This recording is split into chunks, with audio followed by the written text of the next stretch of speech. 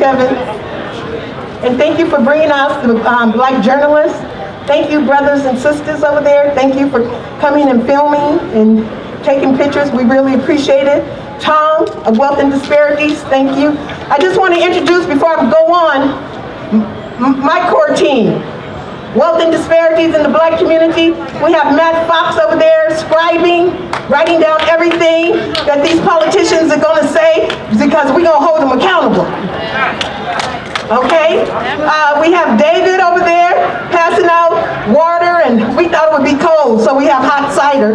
So go on over there and get you some hot cider or water. We're going to have some free food. We have fish and chicken. That's, we're going to be passing out tickets, and you're going to be able to eat for free. For free. Then we're going to, you got to stay to the end for this one though. We will be giving out $500. $325 gift certificates, you ain't got to do nothing.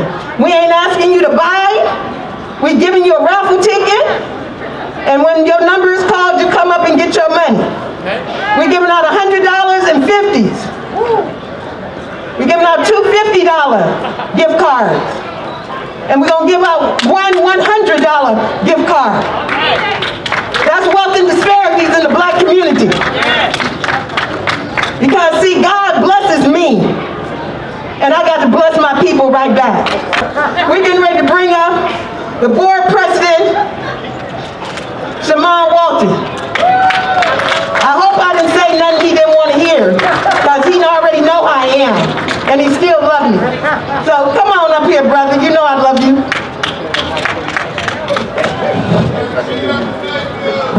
Oh, I got, I, Lynn, I didn't call you. Happy New Year, everybody. Happy New Year. I know uh, Phelicia mentioned um, James Brown and said loud, I'm black and I'm proud. But I think she forgot about Run DMC. Y'all remember how that go? You know I'm proud to be black, yo, and that's a fact, yo. And if you try and take what's mine, I'll take it back, yo. It's like that. Where you at, DJ? What happened to my DJ?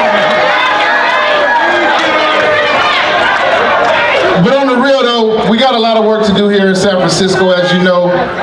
We've been fighting for a long time to address the injustices that exist, address the wealth gap that exists, and it's been a long road. Like Phelicia said, we accomplished some things with redirecting resources to the black community, a $60 million investment over the next two years. We have the reparations task force in place. And thank you to Director Davis and her team at the Human Rights Commission for working with us to make sure that all of that has been able to happen. But even with those steps that we have made, it's still a long way for us to go. So as I stand here on Dr. Martin Luther King's birthday weekend, it is most important that we continue to represent the black voice and continue to bring the black voice out on a consistent basis.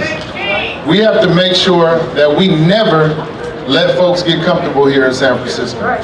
And that includes me. Every step we take forward, they try to push an agenda to take us 20 steps backwards. Don't think that it's a coincidence that they're sensationalizing small crimes on the news after we have redirected resources from the police department to invest in the black community. That's not a coincidence. And if we're not careful when we buy that message, then you're going to be buying the taking away of your investment. So I want us to think about that when they try to scare us into making our own community suffer. I am going to continue to be committed to the work of our community. I am going to continue to be black first. I know that when I step in any room, no matter president of the board of supervisors, you know, former board of education member, former ED, whatever the case may be, the one thing I know when I step in any room is I'm a black man first, period.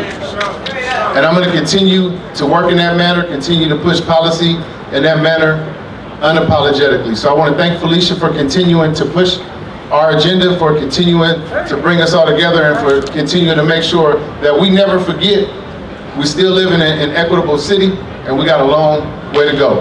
Thank you. You know what you